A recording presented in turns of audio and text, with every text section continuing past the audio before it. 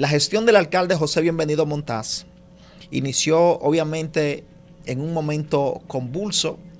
Nadie esperaba que iba a ocurrir lo que finalmente aconteció, esta pandemia que nos tiene ya casi dos años eh, arropados, que poco a poco hemos ido saliendo, hemos ido eh, pues eh, retomando el tren regular de trabajo.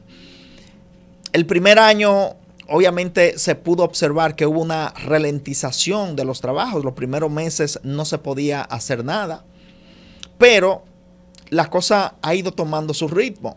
Por ejemplo, el alcalde José Bienvenido Montaz ya cumplió con todas las obras que se pautaron del presupuesto participativo del año 2019. Eso hace ya unos meses que se entregó el presupuesto participativo del año 2000, del 2020 se está, bueno, lo del 2019 para el 2020, esas se entregaron. Entonces, las del 2021 ya se están trabajando, fueron iniciadas todas.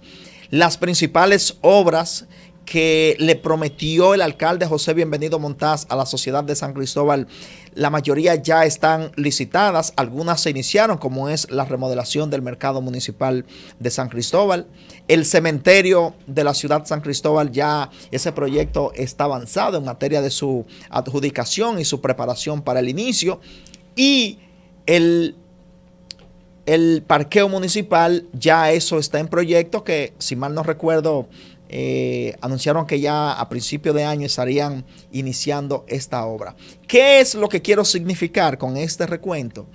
Que esta gestión del alcalde José Bienvenido Montaz se encamina a romper el récord en materia de productividad en el municipio de San Cristóbal. Incluso la misma gestión del alcalde José Montaz 2006-2010, yo pienso que va a quedar pequeña delante de las obras que se van a construir en estos cuatro años. De manera que los meses de aquí en adelante son meses de mucha productividad para el municipio de San Cristóbal y así lo va a ir eh, percibiendo el municipio porque Ciertamente, señores, a partir de ahora ya eh, es un ambiente de cosechar lo sembrado, porque la verdad es que los primeros meses fue una especie de organizar la casa y esperar el escenario para trabajar.